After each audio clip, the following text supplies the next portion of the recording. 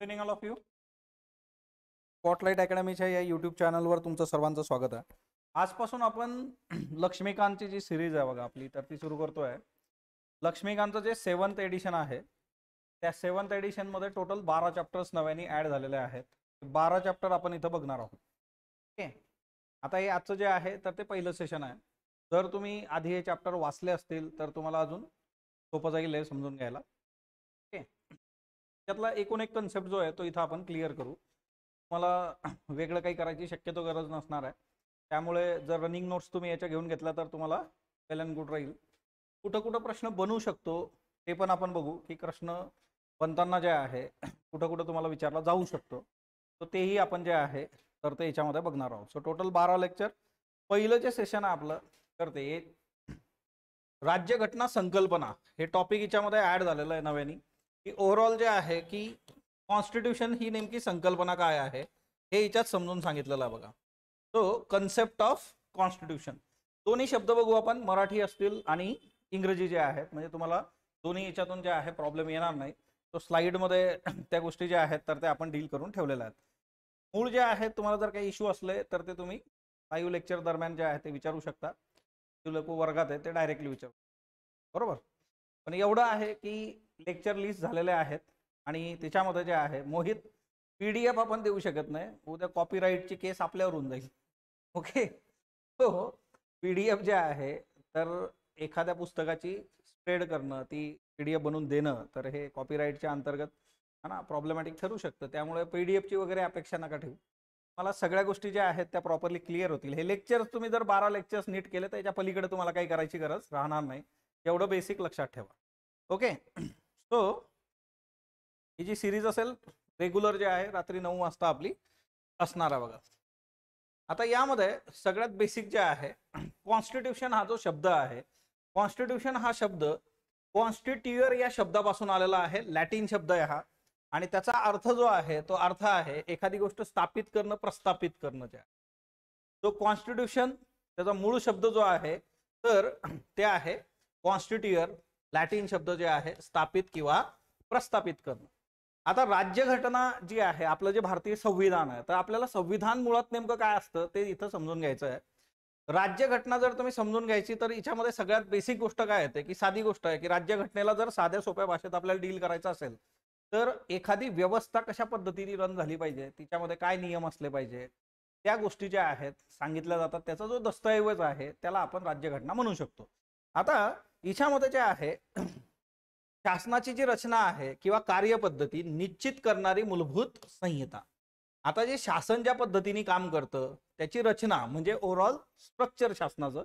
म्हणजे जसं आपण बघतो लोकसभा राज्यसभा विधानसभा विधान परिषद शासनाची जी रचना आहे आणि दुसरी गोष्ट आहे कार्यपद्धती ते कशा पद्धतीने काम करतं.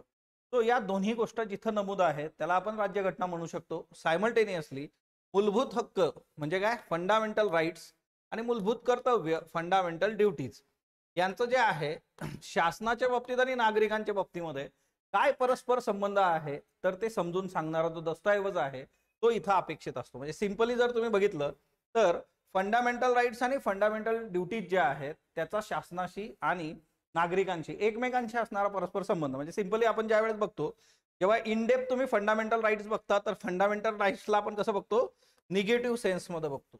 त्याचं रिझन असं आहे शासनाला हे सांगून ठेवलेलं आहे की तुम्ही हे करू शकत नाही किंवा नागरिकांच्या बाबतीत हे करणं तुमचं कर्तव्य असणार आहे बंधनकारक आहे तुम्हाला. तर तो एक सेन्स जो आहे. आणि मूलभूत कर्तव्य ही नंतर ऍड झालेली आहेत बघा. बेचाळीसावी घटना दुरुस्ती आणि मग त्याच्यानंतर मुळात ती नव्हती आपल्या याच्या तो हा सगळा परस्पर संबंध समजून सांगणारा दस्तऐवज. आता राज्यघटनेचं वर्णन करताना काही शब्द वापरलेले आहेत.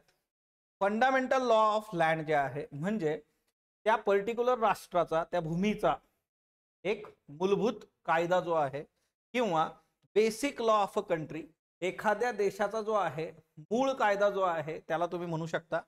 Supreme law of a state एखाद्या राष्ट्राचा सर्वोच्च जो आहे कायदा त्याला तुम्ही राज्यघटना म्हणू शकता. रूल्स ऑफ द स्टेट एखाद्या राष्ट्राचे नियम जे आहेत त्याला तुम्ही म्हणू शकता राज्यघटना. किंवा grand norms of the country जे आहे grand norms of the country जे आहे की मूलभूत तिच्यातला जो ढाचा आहे तो एखाद्या कंट्रीच्या बाबतीमध्ये नियमांच्या बाबतीमधला दस्तऐवज त्याला म्हणू शकता. किंवा basic structure of a polity राज्यशास्त्र जे काय आपण शिकतो त्याचं बेसिक स्ट्रक्चर त्याचा मूलभूत ढाचा म्हणजे जे आहे राज्यघटना किंवा इन्स्ट्रुमेंट ऑफ गव्हर्नमेंट तुम्हाला प्रशासन करण्यासाठी शासनासाठी जे काही लागतं त्याला तुम्ही जे आहे राज्यघटना म्हणू शकता. सो वेगवेगळ्या अँगलनी जे आहे त्याला राज्यघटनेचं वर्णन केलेलं आहे. तो इथं बनवायचा असला तर एक एमसीक्यू डील होऊ शकतो की राज्यघटना म्हणजे खालीलपैकी काय काय असू शकतं. तर त्या गोष्टी तुम्हाला समजून घ्यायच्या. तर याचा मतीत अर्थ काय निघतो? याचा मर्तीत अर्थ आहे सुप्रीम लॉ किंवा फंडामेंटल लॉ म्हणजे काय? मूलभूत आहे सर्वोच्च आहे त्याच्यानुसार व्यवस्था चालणार आहे त्याला आपण काय म्हणतो? फंडामेंटल्स किंवा जे आहे सुप्रीम लॉच्या नेक्स्ट वन आता वेगवेगळे जे काही तज्ज्ञ आहेत त्यांच्या काही डेफिनेशन्स त्यांनी दिलेल्या आहेत. तिच्यामध्ये गिलख्रिस्ट जे आहे बघा. ओके तो गिलख्रिस्ट म्हटल्यानंतर बऱ्याच लोकांना क्रिकेटवाले जे आहेत हा ॲडम गिलख्रिस्ट वगैरे आठवत होतो. तिकडं जे आहे संविधानाच्या बाबतीमध्ये जे आहे तसे तज्ज्ञ इकडं पण आहेत. तो गिलख्रिस्ट जे आहे त्यांनी म्हटलं होतं की शासनाचं संघटन शासनाच्या विविध शाखांच्या अधिकारांचं विभाजन निश्चित करणारे नियम कायदे किंवा त्या तत्वांच्या आधारे अधिकारांची अंमलबजावणी करणं या संबंधीच्या ज्या काही बाबी आहेत ती राज्यघटना आहे. म्हणजे याच्यातून तुम्हाला काय कळतं? शासनाचं संघटन कसं आहे? शासनाचं जे आहे ओव्हरऑल स्ट्रक्चर कसं आहे? त्याच्या जे आहे विविध शाखांच्या अधिकारांचं विभाजन शासन हे वेगवेगळ्या डिपार्टमेंट्समध्ये जे आहे डिव्हिजिबल आहे आणि त्या प्रत्येक डिपार्टमेंटला कुठले अधिकार आहेत ते कसे वापरले जातात? या सगळ्या गोष्टी निश्चित करणारे नियम असतील कायदे असतील किंवा जी तत्व आहेत ज्याच्या आधारे अधिकारांची अंमलबजावणी करायची आहे. ठीक आहे? फिलॉसॉफी तत्व जे दिले जातात बघा तो काही तत्व आहेत प्रिन्सिपल्स आहेत ज्याच्या आधारे तुम्हाला हे करायचं असतं सो तो मुद्दा याच्यामध्ये डील होतो. आता गेटेल जे आहे गेटेलने काय म्हटलं होतं की अधिकारांचं विभाजन असेल शासनाच्या कार्यांची अंमलबजावणीची व्याप्ती किंवा पद्धती असेल ज्या लोकांवर सत्ता प्रस्थापित करायची आहे त्या लोकांशी सरकारचं असणारं नातं जे आहे शासन आणि नागरिक याचं नातं त्याच्याबरोबरच अधिकारांचं विभाजन शासनाच्या कार्याची व्याप्ती की शासन कुठपर्यंत जाऊन ज्या गोष्टी डील करू शकतं या सगळ्या गोष्टी ज्या आहेत ज्या डॉक्युमेंटमध्ये तुम्हाला मिळणार आहेत तर ते जे आहे तुम्ही संविधान म्हणून बघू शकता. किंवा वियरनी जे म्हटलेलं आहे की संपूर्ण देशाची शासन व्यवस्था नियमांचे संच म्हणजे जे काही रूल्स आहेत सरकारची स्थापना कशी होते नियमन कसं होतं शासन कसं केलं जातं हे सगळं राज्यघटनेच्या आधारे निश्चित होतं. वेड अँड फिलिप्स जे आहे. ओके? वेळ बघितला असेल तुम्ही? मराठी चित्र बघितला का? नाही बघितला? ओके? हो आता हे खरंच याचं मराठी असं आहे का? हा ना पण ते आहे बघा. ओके? सो एक विशेष कायदेशीर पावित्र्य असलेला दस्तऐवज ज्याच्यामध्ये राज्य संस्था शासन त्याच्या अंगांची रचना प्रमुख कार्य कार्यांचं नियमन. सो ओव्हरऑल जर ह्या चार डेफिनेशन्स आपण लक्षात घेतल्या तर इथं तुम्हाला एक गोष्ट लक्षात येते. याच्यामध्ये सिंपल एक गोष्ट आहे की शासन कसं चालतं? शासनाची रचना कशी आहे? शासन इम्प्लिमेंट कसं करायचं? गोष्टी वर्क कशा करायच्या? अधिकारांचं विभाजन कसं असेल? नागरिक आणि शासन याचे संबंध कसे असतील? शासनाच्या अधिकाराची व्याप्ती किती असेल? ह्या सगळ्या गोष्टी ज्या आहेत त्या याच्यामध्ये डील करून दिलेल्या आहेत. ओके? आता फंक्शन्स जर तुम्ही बघितले राज्यघटना का असावी? साधी गोष्ट आहे की चला राज्यघटना आपण निर्मित केलेली आहे. तो राज्यघटना का असली पाहिजे? सो बेसिक जे आहे की त्याचे फंक्शन्स काय काय आहेत? त्याचे फंक्शन जर बघितले तर हे एक पॉलिटिकल कम्युनिटी आहे बघा. राजकीय समुदायाच्या सीमा जाहीर करणं. ओव्हरऑल जे आहे की तुमच्या देशामध्ये राष्ट्रामध्ये जे काही पॉलिटिकल समुदाय असतात त्यांच्या ज्या आहे सीमा ज्या आहेत किंवा रेस्ट्रिक्शन्स की तुम्ही याच्या बाजूला सरकू शकत नाही असा तो कन्सर्न असतो. किंवा राजकीय समुदायाचं स्वरूप आणि अधिकारांची घोषणा व्याख्या करणं त्या. राजकीय समुदाय पॉलिटिकल कम्युनिटी जे आहे त्या स्वरूप कसे असेल त्याचे अधिकार कसे असतील? किंवा नॅशनल कम्युनिटी जे आहे राष्ट्रीय समुदाय जे आहे त्याची अस्मिता टिकवणं त्याची मूल्य जे आहे ती व्यक्त करणं त्याच्यासाठी जे आहे आपल्याला राज्यघटना असणं अपेक्षित असतं. नागरिकांचे हक्क आणि कर्तव्य कोणकोणती आहेत ते याच्यामध्ये सांगितलेली असतात. समाजासाठी राजकीय संस्थांची स्थापना करणं आणि त्याचं नियमन करणं. राजकीय संस्था पॉलिटिकल इन्स्टिट्यूशन्स ज्या आहेत त्या समाजासाठी स्थापन झाल्या पाहिजेत आणि त्या कशा पद्धतीने कार्य करतील हे पण जे आहे राज्यघटना आपल्याला जे आहे क्लिअर करून देते. शासनाचे वेगवेगळे स्तर जे असतील त्याचे उपविभाग जे असतील तिच्यामध्ये सत्तेचं वापटप. म्हणजे आता आपण जे काही बघितलं हे काय आहे शेवटी? डिव्हिजन ऑफ पॉवर्स आहे बघा. कुणाकडे किती अधिकार कसे अधिकार जातील कोण कुठं कशा पद्धतीने त्याचे अधिकार वापरणार आहे हे तुम्हाला याच्यातून क्लिअर होतं. धर्माधिष्ठित किंवा धर्मनिरपेक्ष अधिसत्ता यातल्या सीमा निश्चित करत जे आहे ते ओव्हरऑल जे आहे की सेक्युलर आहात का तुम्ही? म्हणजे कुठलाही तुमचा ऑफिशियल एक धर्म आहे का?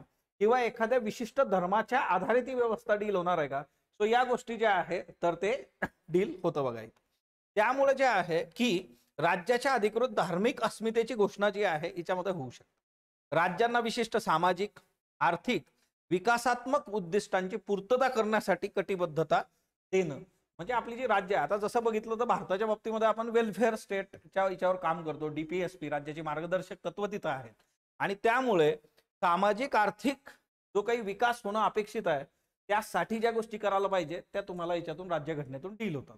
तर उद्या तुम्हाला एक सिंपल प्रश्न इथून येऊ शकतो की राज्यघटना का असावी किंवा राज्यघटनेची कार्य काय आहेत आणि त्याच्या आधारे तुम्ही गोष्टी ज्या आहेत तर त्या डील करणं अपेक्षित असतं.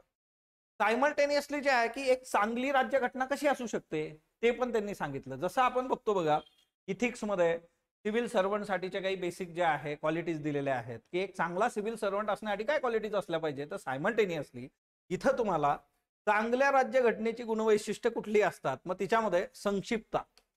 प्रिव्हिटी असा शब्द आहे ब्रिव्हिटी म्हणजे काय? की शॉर्टनेस किंवा कन्साइजनेस ऑफ एक्सप्रेस ज्या काही तरतुदी राज्य घटनेमध्ये असतात त्या साध्या सोप्या भाषेमध्ये कमीत कमी शब्दामध्ये सर्वांना समजतील अशा असल्या पाहिजे. सगळ्यात मोठा प्रॉब्लेम असा असतो की ही जी भाषा आहे आपल्या संविधानाच्या बाबतीत पण तुम्ही जर क्रिटिक्स वगैरे जे आहे वाचतात लॉयर्स जे आहेत त्यांचं मोठ्या प्रमाणावर याच्यावर ते है ना प्रभुत्व आणि त्याच्यामुळे जे आहे की ते सगळ्या प्रोसेसमध्ये त्यांचं असणं. मग भाषा जी आहे भाषेची क्लिष्टता तर ती तिथं असता कामा नये तर ती भाषा सहज आणि सोपी असावी. कमीत कमी शब्दात तुम्ही राज्यघटनेतल्या तरतुदी नीट समजावून सांगितल्या पाहिजेत. दुसरा मुद्दा आहे स्पष्टता क्लॅरिटी साधी सोपी भाषा असते तर तिच्यामध्ये क्लॅरिटी येणार आहे. एकाच शब्दाचे एका वाक्याचे वेगवेगळे अर्थ तिथं निघता कामा स्ट्रेट फॉरवर्ड साधं आणि सोपं जे आहे ते गणित तिथं असलं पाहिजे. निश्चितता डेफिनेटनेस जे आहे बघा राज्यघटनेत ज्या तरतुदी असतील ना त्याचा निश्चित अर्थ काढणं जे आहे. ओके कुठली तरतूद आपल्या याच्यामध्ये आहे तर त्या केसमध्ये त्या बेसिक इच्छा जो काही अर्थ असणार आहे तो प्रॉपरली डील झाला पाहिजे. अदरवाईज मग तो अर्थ लागत नसता आपल्याला कुणाकडे जावं लागेल? कोर्टाकडे जावं लागेल आपल्याला. कोर्ट मग त्याच्यातून काही अर्थ काढू शकतं. परत असं होऊ शकतं की कोर्ट तिच्यातून येत्या काळात अजून चार अर्थ काढेल. काळानुरूप. तसं होता कामा नये. म्हणून निश्चित अर्थ तिच्यामध्ये जे आहे तर ते असले पाहिजे.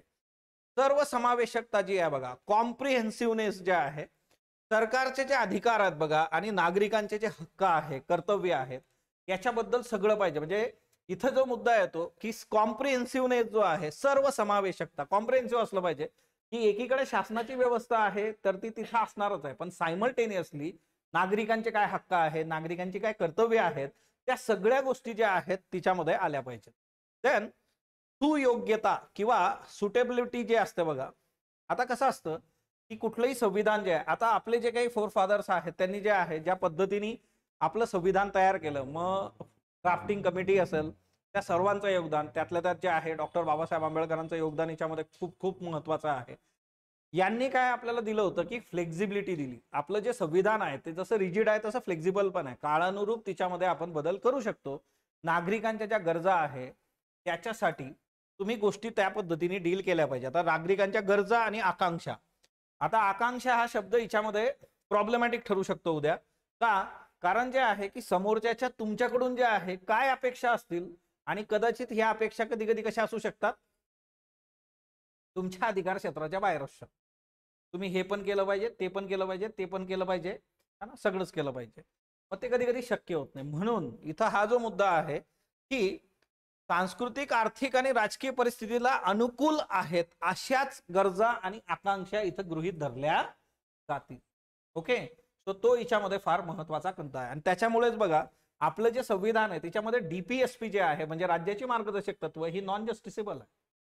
कारण जसं फंडामेंटल राईट जस्टिसेबल आहे. तर तसं डीपीएसपी साठी हे डील केलेलं नाही कारण तेवढे रिसोर्सेस आपल्याकडे नव्हते त्यावेळेस ते शक्यही नव्हतं. स्थैर्य. स्टॅबिलिटी जी आहे राज्यघटना ही राजकीय स्थैर्य निर्माण करणारी असली पाहिजे बघा. ओके?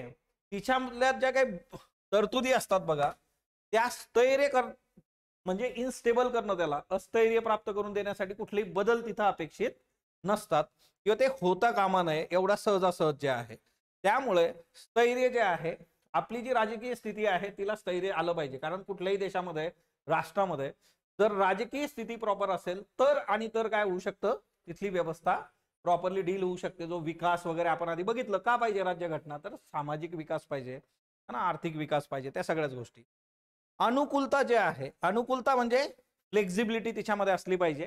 काळानुरूप जे बदल आहेत ते समाविष्ट होण्यासंबंधी प्रोव्हिजन्स असे पाहिजे. तर आपल्याकडे अमेंडमेंटची प्रोसिजर आहे. आपण ते करू शकतो. कन्सेप्ट तिच्यामध्ये कंडिशन अप्लाय बेसिक स्ट्रक्चरला धक्का लावायचा नाही. बाकीच्या सगळ्या गोष्टी तुम्ही डील करू शकता. राज्यघटनेचे प्रकार आहेत बघा. पाच पद्धतीने आपण बघतो. इव्हॉल्ड आणि इनॅक्टेड उत्क्रांत झालेली राज्यघटना कार्यान्वित राज्यघटना. लिखित संविधान जे आहे किंवा लिखित राज्यघटना अलिखित राज्यघटना. फ्लेक्झिबल आणि रिजिड राज्यघटना आत्ता आपण बघितलं त्यांनी काय म्हटलं होतं? एक चांगली राज्यघटना कशी असते? फ्लेक्झिबल पाहिजे. संघराज्यीय आणि एकात्मक राज्यघटना फेडरल अँड युनिटरी. प्रतिक प्रक्रियात्मक प्रोसिजरल आणि निर्देशक प्रिस्क्रिप्टिव्ह. असे हे जे प्रकार आहेत बघा एक एक करून आपण आता समजून घेऊयात. सगळ्यात पहिला जो आहे तो म्हणजे उत्क्रांत होणं जे आहे. ओके? इव्हॉल्ड अँड इनॅक्टेड तिच्यातलं उत्क्रांत. माणसाची उत्क्रांती कशी होत गेलेली आहे तुमच्यासमोर आहे बघा. हा ना माणूस कसा निर्माण होत गेला. तो ओव्हरऑल जे आहे ही जी प्रक्रिया आहे ही प्रक्रिया कशी होती? स्लो होती. टप्प्याटप्प्याने झालेली आहे. ओके हे असं डोरेमोनच्या गॅजेट सारखा कार्यक्रम नाही आहे ओके त्यामुळे जे आहे ना की हे टप्प्याटप्प्याने झालंय काळाच्या ओघात झालेलं आहे. म्हणून हे उत्क्रांत होणारी जी काही राज्यघटना असते ती राज्यघटना स्लोली जे आहे स्टेप बाय स्टेप संत आणि टप्प्याटप्प्याने उत्क्रांत होणारी जी आहे राज्यघटना असते ओके? त्याच्यानंतर जे आहे दुसरा मुद्दा हिच्यामध्ये जे आहे संकेत व्यवहार तत्व न्यायिक निर्णय म्हणजे हळूहळू आता काळाच्या ओघामध्ये वेगवेगळ्या तरतुदी तिच्यामध्ये काही संकेत असतील न्यायालयाने काही निर्णय दिले असतील अशा गोष्टी हळुवारपणे ज्या आहे एक एक एक एक करून हिच्यामध्ये समाविष्ट होत जातात. ही आहे उत्क्रांती. याचं बेस्ट एक्झाम्पल आहे ब्रिटनची राज्यघटना जी आहे ती अशा पद्धतीने झालेली आहे. आता तुम्हाला ब्रिटनच्या बाबतीमध्ये ब्रिटनची राज्यघटना लिखित आहे का अलिखित आहे बरं? चला अलिखित आहे. बरोबर? सो तोही एक महत्त्वाचा याच्यामध्ये कन्सर्न आहे. क्लिअर आता दुसरी जे असतं बघा त्याला आपण कार्यान्वित किंवा इनॅक्टेड असं म्हणतो. हिला पारंपरिक किंवा संकेत पाळणारी राज्यघटना पण म्हटलं जातं. आणि ही जी आहे बघा उत्क्रांत हिला संचयित राज्यघटना असाही शब्द आहे. टप्प्याटप्प्याने जी होते ती. इकडं जे आहे बघा त्यावर नेक्स्ट वन जे आहे की कार्यान्वित राज्यघटना जी आहे इनॅक्टेड पारंपरिक किंवा संकट पाडणाऱ्या ज्या राज्यघटना आहेत हिच्यामध्ये तुमच्यासमोर हा जो फोटो आहे बघा हा आपल्या संविधान सभेचा आहे. ना? पंडितजी इकडं जे आहे संबोधित करतायत. संविधान सभा आता जी इनॅक्टेड असते बघा त्या इनॅक्टेडचा जर तुम्ही विचार केला तर पारंपरिक किंवा संकेत पाळणारी हिच्यामध्ये काय असतं? एखादी संविधान सभा असते किंवा घटना परिषद असते तिच्याद्वारे हे संविधान निर्माण केलं जातं जसं आपण केलं होतं. तो याचं बेस्ट एक्झाम्पल काय? इनॅक्टेडचं भारतीय संविधान. हे आपण बनवलं संविधानाच्या सभेच्या माध्यमातून. राजा किंवा संसदेद्वारे प्रमाणित केलं जातं. आपल्याकडं काय आहे? संसद आहे बघा. हा ना? ब्रिटन सारखे देश जे आहे तिथं कोण असतं? राजा आहे. आता या तरतुदी पुस्तक किंवा दस्तऐवजामध्ये किंवा कागदपत्राच्या स्वरूपात समाविष्ट असतात. आणि याचं बेस्ट एक्झाम्पल अमेरिका. आणि ऑब्विसली भारताची जी आहे तर ती राज्यघटना. त्याचबरोबर पुढचं जे आहे बघा लिखित अलिखित. लिखित राज्यघटना जी असते तिच्यामध्ये पुस्तक दस्तऐवज म्हणजे आता ही इनॅक्टेड आपली जी आहे तर ती लिखित आहे बघा. America Canada Japan France Bharat लिहून काढलं जातं. दुसरा जो मुद्दा याच्यामध्ये येतो अलिखित. नावातच आहे अलिखित. याच्यातल्या तरतुदी ज्या असतात बघा तुमच्या ज्या रूढी परंपरा असतात संकेत असतात सनदा कायदे न्यायिक निर्णय याच्या स्वरूपात असतात. म्हणजे हे इंग्लंड किंवा ब्रिटन न्यूझीलंड इस्रायल अशा ठिकाणी तुम्ही बघू शकता. या राज्यघटना ज्या आहेत ना या ऐतिहासिकदृष्ट्या उत्क्रांत झालेल्या आहेत. उत्क्रांत मध्ये आपण ब्रिटनचा रेफरन्स बघितलेला आहे. टप्प्याटप्प्याने ह्या डील होत जातात. पण तरी सुद्धा आता जरी हे अलिखित असलं तर याच्यातल्या बऱ्याचशा गोष्टी कायदे वगैरे रूल्स हे लिहिण्याचा प्रघात तिथं आहे. ओके सो अलीकडच्या काळात तुम्हाला तो पण एक ट्रेंड तिथं दिसतो. त्याच्यानंतर नेक्स्ट वन आता लॉर्ड जेम्स ब्राईस ही व्यक्ती तुमच्यासमोर आहे बघा. लॉर्ड जेम्स ब्राईस जे आहेत तर यांनी हे जे डिफरन्सिएशन केलेलं आहे ते फ्लेक्झिबल अँड रिजिड जे आहे लवचिक राज्य घटना ताठर राज्यघटना आता लवचिक म्हणजे काय? फ्लेक्झिबल किती परिवर्तनशील असते. तिच्यामध्ये तुम्ही बदल करू शकता. इंग्लंड न्यूझीलंड अशा ज्या आहेत लवचिक आहेत. रिचिड ज्या आहेत तिच्यामध्ये तुम्हाला बदल करणं शक्य नाही. जे दिलं ते दिलं. अमेरिका ऑस्ट्रेलिया स्वित्झर्लंड जे आहे. भारतीय राज्यघटना कशी आहे? तर भारतीय राज्यघटनेचं जे आहे अंशदा फ्लेक्झिबल आहे. अंशदा रिजिड आहे. म्हणजे भारतीय राज्यघटनेमध्ये कम्प्लिटली बदलही करता येत नाही. भारतीय राज्यघटना जी आहे तर ती कम्प्लिटली चेंज होणारच नाही असंही नाही. कंडिशन आपला Kesavananda Bharati case nineteen seventy three याच्यामध्ये सांगितलेलं आहे की तुम्ही बेसिक स्ट्रक्चरला हात लावू शकत नाही बाकी गोष्टी तुम्ही बदलू शकता. मूळ मुद्दा आहे तर बेसिक स्ट्रक्चर जे आहे तर ते तुम्ही मूळ संविधानामध्ये ते दिलेलं नाहीये. ते काळाच्या ओघामध्ये वेगवेगळे जे न्यायालयाचे खटले आहेत आणि न्यायालयाने जे निर्णय दिलेले आहेत आपला तिच्यातून जे आहे तर ते इव्हॉल्व्ह होत गेलेले आहेत बघा. ओके तेस वन तुमच्यासमोर जे आहे बघा के सी व्हिअर आहेत बघा.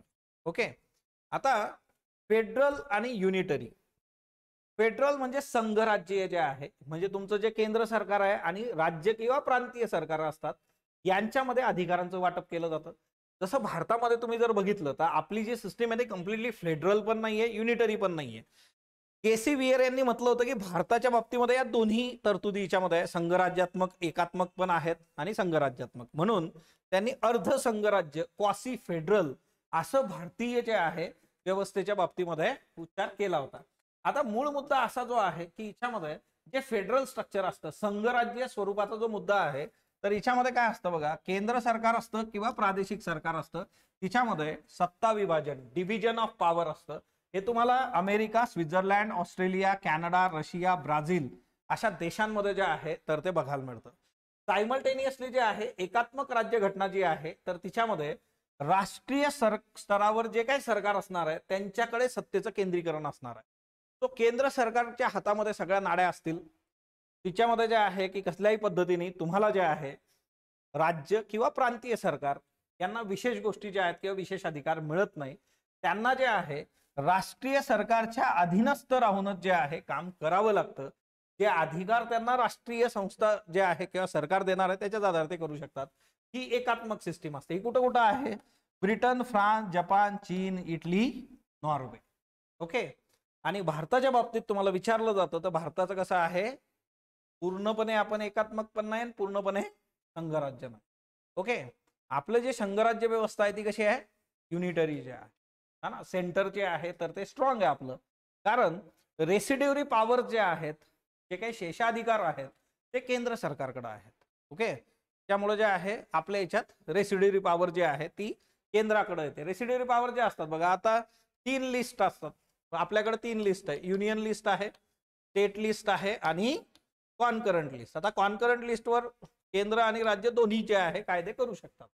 तो बेसिकली कसा आहे की या प्रोसेसमध्ये एक साधी सरळ गोष्ट जर तुम्ही बघितली तर युनियन लिस्ट स्टेट लिस्ट या दोन्ही याच्यामध्ये साधं सरळ गणित एकदम सिंपल आहे. ते म्हणजे काय की भारतीय राज्यघटना आणि त्यामध्ये जे आहे उद्या असं होऊ शकतं की युनियन लिस्टमध्ये जे विषय आहे ते सोडून राज्याच्या याच्यामध्ये जेवढे विषय आहेत ते सोडून किंवा कॉन्करंट लिस्ट लिस्टमध्ये जे विषय आहेत ते सोडून जर एखादा नव्याने विषय समोर आला तर त्या बाबतीत कोण निर्णय घेणार? तर ते केंद्र सरकार घेतं. सो रेसिड्युरी पॉवर केंद्राकडे जातात मग त्या ठिकाणी ज्या आहे गोष्टी डील हे होऊ शकतात बघा. देन प्रक्रियात्मक आणि निर्देशक जे आहे ओके इलियट बुलमर जे आहे तर यांनी ह्या दोन जे आहे टाईप आपल्याला सांगितलेले आहेत. आता याच्यामध्ये काय आहे ना की जो काही दस्तऐवज असतो म्हणजे जे काही डॉक्युमेंट आहे त्या डॉक्युमेंटशी रिलेटेड याच्यामध्ये फरक असतो. फॉर एक्झाम्पल प्रोसिजरल जे आहे किंवा प्रक्रियात्मक जे आहे त्यामध्ये सार्वजनिक संस्थांच्या कायदेशीर आणि राजकीय संचालनाच्या परिभाषा तिच्यामध्ये असतात. म्हणजे लोकशाही प्रक्रिया आणि मूलभूत मानवी हक्कांचं संरक्षण करण्यासाठी सरकारी शक्तीच्या कायदेशीर मर्यादा याच्यामध्ये निश्चित असतात.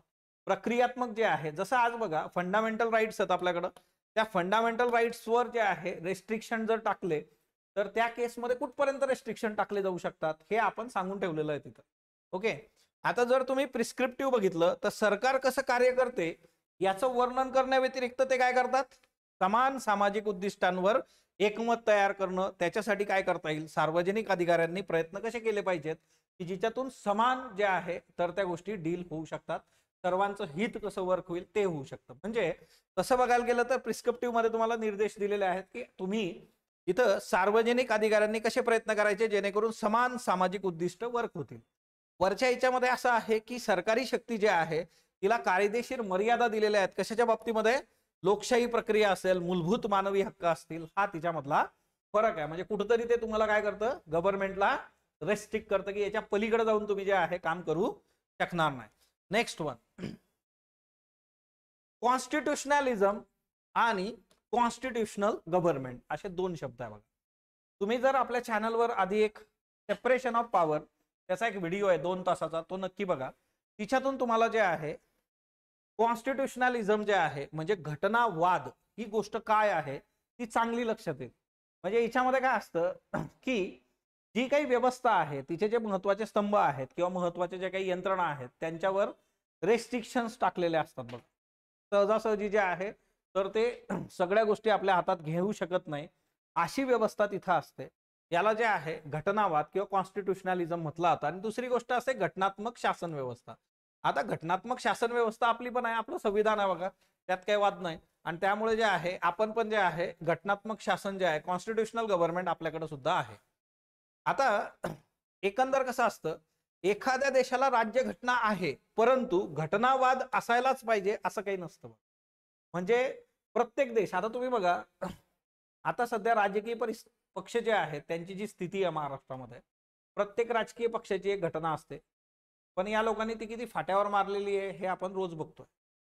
म्हणजे असे काही देश असतात की ज्यांच्याकडे घटना आहे पण ती घटना कशासाठी असते फक्त दाखवायला.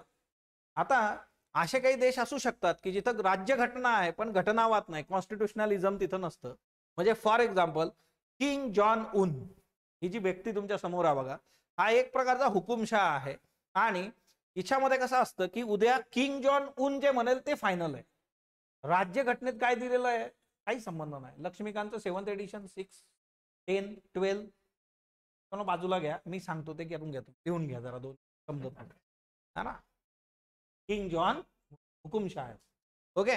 त्याचा जो शब्द आहे तर तो फायनल असणार आहे. म्हणजे तिथं राज्य घटना आहे पण घटनावाद आहे असं आपण म्हणू शकत नाही. म्हणजे काय? आता तुम्ही जर कॉन्स्टिट्युशनलिझमचा जर विचार केला बघा तर त्या केसमध्ये एक साधी गोष्ट आहे.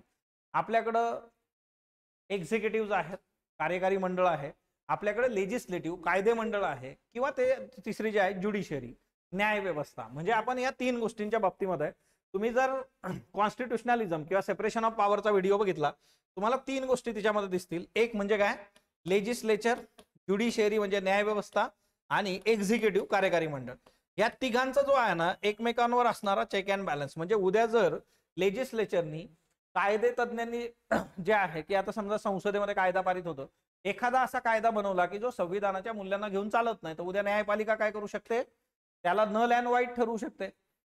असा तो मुद्दा असतो. आणि त्यामुळे जे आहे की इथं मात्र तसं नाहीये बघा. इथलं गणित एकदम क्लिअर आहे. हुकुमशाह म्हणणार ते तसं. म्हणून किंग जॉन उन जो आहे तो तुमच्यासमोर आहे. त्यांनी म्हटलं राज्य घटना केली बाजूला. है ना? म्हणजे असे बरेच सोशल मीडियावर व्हिडिओ तुम्ही बघितले असतील की निवडणूक होतात का इथं? तर होतात. पण एकच माणूस उभा असतो. आयदर याला मत द्या नाहीतर तुम्ही देशातून चालते व्हा नाहीतर तुम्हाला संपवतो आम्ही. अशी जी व्यवस्था आहे ती जी आहे की व्यवस्था आहे पण कॉन्स्टिट्युशनलिझम तिथं नाहीये असं आपण म्हणतो. आता घटनावाद हा जो शब्द आहे बघा सरकारकडे सत्ता असणं गरजेचं आहे पण मर्यादित सत्तेचा आग्रह इथं आहे. सरकारकडे पॉवर असली पाहिजे पण ती पॉवर कशी आहे? लिमिटेड तिला रेस्ट्रिक्शन्स असू शकतात. तिला कुठंतरी एक जे आहे सीमारेषा असणार. असं ते साधं सरळ सिंपल गणित आहे.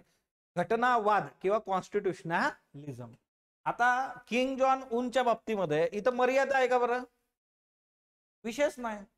मर्यादा नावाचं त्याच्या शब्दकोशातच नाहीये काही. तो मुद्दा एकदम क्लिअर आहे. मग अमर्याद सत्ता ज्या वेळेस तुम्हाला मिळते सरकार जे असतं ते एकाधिकारशाहीने वागतं बघा. दमनकारी होतं. लोकांचं शोषण ते करतं. आणि ते प्रॉब्लेमॅटिक होतं. म्हणजे बाहुबली बघितला असेल तुम्ही? बाहुबलीमध्ये एक बाहुबली आहे. बाहुबलीचा रायवल तो कोण आहे? हल्लाल देव हल्लाल देवचं कसं आहे? जनतेचं काही घेणं देणं आहे का त्याला? ते तिथं काय व्यवस्था आहे? राजा आहे मंत्री आहे पण व्यवस्थाच नाही. नागरिकांच्या बाबतीमध्ये कुठला विचार नाही. म्हणजे तिथं घटना आहे परंतु घटनावाद ओके? तो कायद्याचं राज्य प्रस्थापित होणं जे आहे ते अपेक्षित असतं घटनावादामध्ये जे आहे. ना? कायद्याचं जे आहे तर ते राज तो दुसरा मुद्दा जो असतो बघा तो म्हणजे की इथलं जे आहे शासन जे आहे तर ते कसं असतं? सुसंस्कृत किंवा जे आहे सभ्य म्हणजे त्याला सिव्हिलाइज्ड गव्हर्नन्स जे आहे तर ते इथं असणं अपेक्षित असतं. जे आहे सिव्हिलाइज्ड गव्हर्नन्स जे आहे तर ते असणं अपेक्षित असतं. आता राज्यघटना ज्या वेळेस एखाद्या देशाची असते बघा तर ती सत्तेवर मर्यादा घालते. तेव्हा ती राज्यघटनाच असं असतं असं नाही तर तो घटनावाद सुद्धा असतो. म्हणजे काय? राज्यघटनेमध्ये जे सांगितलेलं आहे की सरकार कुठं काम करू शकतं आणि कुठं करू शकत नाही ते जे सांगितलेलं आहे तो घटनावाद. ओके? आता संविधानाचं खरं औचित्य काय आहे बघा? तर मर्यादित सरकार आणि जे शासन करतात त्यांनी कायदे आणि नियमांचं पालन करणं हे इथं अपेक्षित. म्हणजे जी लोक सत्तेत आहे त्यांनी स्वतः कायद्याचं पालन करणं नियमांचं पालन करणं ते अपेक्षित असतं. तो मुद्दा इथं मॅटर करतो. आता बघा घटनावादाच्या बाबतीमध्ये पण काही डेफिनेशन्स त्यांनी दिलेले आहेत. आता बघा मूळ जे आहे ही एक सगळ्यात बेसिक गोष्ट कशी आहे ना की तुम्ही बघा टीम स्पॉटलाईटने तुम्हाला सेपरेशन ऑफ पॉवरचा व्हिडिओ दिलेला आहे. शांत चित्ताने बघा. तिथून तुमच्या कितीतरी कन्सेप्ट जे आहे तर ते क्लिअर होतील. Thank you team spotlight for your support इथं जे आहे बघा फेडरिक जे आहे शासन कृत्यावर प्रभावी प्रतिबंधनाची प्रणाली जी आहे किंवा निष्पक्षतेची खात्री जी आहे सरकारला जबाबदार ठरणं जे आहे पहा कीवर्ड्स कुठले कुठले आहे सरकार जबाबदार आहे. म्हणजे उद्या जर एखादी चुकीची गोष्ट झाली सरकारला तुम्ही प्रश्न विचारू शकता. दुसरी बाब जी आहे निष्पक्षता. म्हणजे जर हिच्यामध्ये जे आहे सरकारवर जे अंकुश असणार आहे तर कुणालाही बायस ते असणार नाही. त्यांनी कायद्याचं पालन करणं गरजेचं आहे त्यांनी नियमाचं पालन करणं गरजेचं आहे असा तो मुद्दा आहे. किंवा रुसेक जे आहे त्यांनी डेफिनेशन दिलेली आहे मर्यादित शासन. मूलतः जे आहे मर्यादित शासन. ऍब्सोल्यूट कुणालाही मिळणार नाही. अनियंत्रित सत्तेची स्थापना करणाऱ्या सरकारवर प्रतिबंधाची एक शक्ती असणं जे आहे त्यालाच घटनावाद किंवा कॉन्स्टिट्युशनलिझम असं म्हटलं जातं. देन वियरचं असं म्हणणं बघा मनमानी सरकारच्या विरुद्ध नियमानुसार चाललेले सरकार. नियमानुसार तुम्ही गोष्टी केल्या पाहिजे. मनमानी करता कामा. याचा अर्थ राज्यघटनेच्या अटीनुसार चाललेलं मर्यादित सरकार. राज्यघटनेच्या ज्या अटी आहेत तिच्यामध्ये सरकारवर जे आहे तर ते चार रेस्ट्रिक्शन असणार आहे. की तुम्ही हे करू शकत नाही. त्याचं पालन त्यांनी केलं पाहिजे. तो सरकार जे आहे सत्ता वापरणाऱ्यांची इच्छा आणि त्यांच्या क्षमतांपुरतं मर्यादित असणार.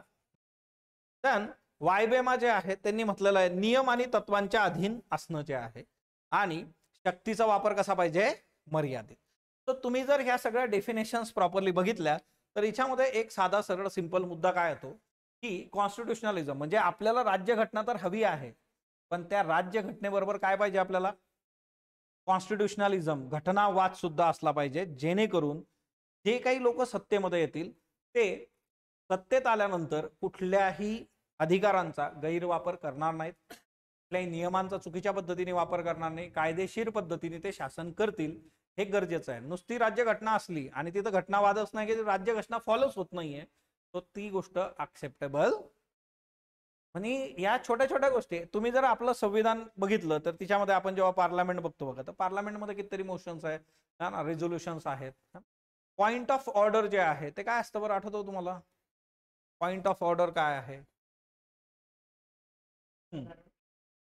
ओके एक तर जे आहे ना की तुम्हाला तिथेही स्कोप आहे की जर शासन संविधानाचं जे आहे विचार करून म्हणजे संसद त्या पद्धतीने काम करत नसेल तर तुम्ही रिस्ट्रिक्शन आणू शकता का? तुम्ही प्रश्न विचारू शकता की प्रोसिजर जी आहे ती फॉलो होत नाही ओके आता बघा घटनावाद किंवा कॉन्स्टिट्युशनलिझमचे जे आहे आठ वैशिष्ट्य जे आहेत ते आपल्याला दिलेले आहेत लुईस हेनकिन. लुईस हेनकिन तुमच्यासमोर आहेत. यांनी कॉन्स्टिट्युशनलिझम किंवा घटनावादाचे जे आहेत आठ वैशिष्ट्य दिलेले आहेत. याच्यामध्ये पॉप्युलर सोवेरनिटी आता सोवेरियन हा शब्द याचा अर्थ असा होतो की कुणाचंही तुम्हाला जे आहे तुमच्यावर फोर्स नसणं किंवा एक्सटर्नल फोर्स आपण ज्याला म्हणतो तुम्ही तुमच्या पद्धतीने काम करणं स्वतःचे निर्णय स्वतः घेणं त्याच्यामध्ये कुणाचाही इन्फ्लुएन्स नसणं. तो पॉप्युलर सोवेनिटी जे आहे लोक अनुयायी सार्वभौमत्व. म्हणजे ज्याला बहुमत आहे त्याच्यानुसार गोष्टी ज्या आहेत त्या डील झाल्या पाहिजेत. रूल ऑफ लॉ कायद्याचं राज्य तिथं असणं अपेक्षित आहे. आता याच्यासाठी आपल्याकडे कलम पण आहे कुठलं कलम आहे? कायद्याचं राज्य? आर्टिकल फोर्टीन कायद्याचं राज्य जे आहे. डेमोक्रेटिक गव्हर्नमेंट जे आहे. By the people for the people of the people democratic government लोकांनी निवडून दिलेलं जे आहे तर ते शासन तिथं असणं अपेक्षित आहे. दन आणि हे डेमोक्रेटिक गव्हर्नमेंट कसं असणार आहे? तर ते उत्तरदायी पण असेल अकाउंटेबल पण असेल. आपलं शासन अकाउंटेबल आहे का? तर आहे. कारण आपण क्वेश्चन आर बघितलाय तिथं प्रश्न विचारू शकतो आपण. है ना? झिरो आर क्वेश्चन आर है ना? प्रश्न विचारतो आपण प्रश्न उत्तराचा तास आहे तिथं. उत्तर द्यावं लागतं. तो सेपरेशन ऑफ पॉवर जे आहे सेपरेशन ऑफ पॉवर जे आहे संतुलन नियंत्रण. तुम्हाला प्रत्येकाला जेव्हा टीम स्पॉटनाईटनी लिंक दिलेली आहे सेपरेशन ऑफ पॉवरची तो व्हिडिओ प्रत्येकाने बघा. तिथून तुम्हाला याच्या गोष्टी डील होतील की सत्ता विभाजन करणं जे आहे कुणाच्याच हातात सगळे जे आहे अधिकार न देता म्हणजे तुम्ही जर एकाच्याच हातात सगळे अधिकार देऊन टाकले तर उद्या ते प्रॉब्लेमॅटिक ठरू शकतं. ओके म्हणून तुम्हाला जे आहे ज्याची त्याची कामं ज्याचे त्याचे अधिकार ज्याला त्याला सेपरेट करून देणं अपेक्षित आहे. इंडिपेंडेंट ज्युडिशरी जे आहे बघा स्वतंत्र न्यायपालिका. आता जर तुम्ही बघितलं तर आपल्या इथं याच्यावरून पण इश्यू सुरू होते. है ना नॅशनल ज्युडिशियल अपॉइंटमेंट कमिशन आणा कोलिजियम सिस्टीम त्याच्यामध्ये जे आहे ज्युडिशरीचं म्हणणं आहे की नाही स्वतंत्र न्यायपालिकेच्या याच्यावर घाला घालताय तुम्ही. इस्रायल सारख्या देशामध्ये आपण बघितलं की न्यायपालिकेच्या बाबतीमध्ये सरकारने काय केलं होतं? तो ओव्हरऑल जे आहे की तुम्ही जर बघितलं की स्वतंत्र न्याय व्यवस्था जी आहे जसं यांनी टाकलं बघा कार फेस जे आहे है ना तर डीपीएसपी मध्ये याची तरतूद आहे. एस डीपीएसपी मध्ये तरतूद दिलेली आहे तुम्हाला. तो कलम सांगा बरं इंडिपेंडंट ज्युडिशरीचं कुठला आहे? Okay civilian control of the military सैन्यावर नागरी नियंत्रण जे आहे असाही एक मुद्दा यांनी टाकलेला आहे घटनावादाच्या याच्यामध्ये आपल्या इथं आहे का बरं सैन्यावर नागरी नियंत्रण? ओके त्याच्यानंतर जे आहे okay good police govern by the law and judicial control जे आहे कायदा आणि न्यायालय यांनी नियंत्रित पोलीस यंत्रणा जी आहे पोलीस जे आहे त्यांना पण ट्रिमेंडा म्हणजे पॉवर देऊन टाक तुम्ही तुमच्या पद्धतीने डील करा असं नाही. इथं पोलिसांसाठी जे पण काय आहे कायदा आहे ज्युडिशियल कंट्रोल ओके? म्हणजे त्यांनाही काहीतरी रिस्ट्रिक्शन्स येतात तिथं. रिस्पेक्ट फॉर इंडिव्हिज्युअल राईट्स व्यक्तिगत हक्कांचा आदर करणं हाही याच्यामध्ये खूप खूप महत्त्वाचा मुद्दा आहे. प्रत्येकाला त्याचे जे हक्क आहेत फंडामेंटल राईट्स आपण दिलेले आहेत त्याचा आदर झाला पाहिजे तोही एक महत्त्वाचा याच्यामध्ये आस्पेक्ट आहे. तो तीही एक बाब जी आहे तर ती तुम्ही लक्षात घेतली पाहिजे. तो ओव्हरऑल जे आहे घटनावादाचे जे आठ वैशिष्ट्य हे तुमच्यासमोर आहेत. Popular sovereignty rule of law democratic government separation of powers independent judiciary civilian control of military police govern by the law and judicial control respect for individual rights and व्यक्तिगत हक्कांचा आधार तो उद्या तुम्हाला हा प्रश्न विचारला जाऊ शकतो कॉन्स्टिट्युशनलिझम काय असतं? किंवा त्याचे जे आहेत वैशिष्ट्य काय असू शकतात? अकॉर्डिंग टू लुई सेनकिन किंवा सिम्पली विचारलं जाऊ शकतं. अदर दॅन लुई सेनकिनचं नावही ते घेणार नाही तिथं. आणि तुम्हाला जे आहे हे विचारलं जाऊ शकतं. तो हा जो आहे तर हा आपला पहिला चॅप्टर होता जो नव्याने ऍड झालेला आहे लक्ष्मीकांतच्या सेवन्थ एडिशनमध्ये. लक्ष्मीकांतचं जे ॲडिशन आहे बघा मराठी आणि इंग्रजी असं दोन्ही याच्यामध्ये ते अवेलेबल आहेत. ते दोघी तुम्ही पुस्तकं बघू शकता. तो तुम्हाला जे आहे नवीन ऍड झालेले सगळे चॅप्टर्स त्यांनी सुरुवातीला दिलेले आहेत. आणि त्यानुसारच मी लेक्चर सगळे लिस्ट केलेले आहेत. उद्या रात्री आपण भेटणार आहोत बघा. कन्झ्युमर कमिशन्स असा जो आहे आय थिंक आपलं पुढचं चॅप्टर असणार आहे. आणि दररोज रात्री जे आहे तर ते आपण एक एक एक एक एक एक पुढचे बारा दिवस जे आहे तर ही सिरीज आपली बारा दिवसांसाठी असणार आहे. आणि तुम्ही स्वतः जे आहे एकदा याच्यातून गोथ्रू करा स्वतः वाचा. तुम्हाला काय वाटलं तर तुम्ही उद्या विचारू शकता किंवा नंतर कधी जे आहे तुमचे डाऊट्स असले त्याच्यातून आपण गोष्टी ज्या आहेत तर त्या क्लिअर करू. So thank you all of you सर्वांना शुभरात्री. गुड नाईट धन्यवाद.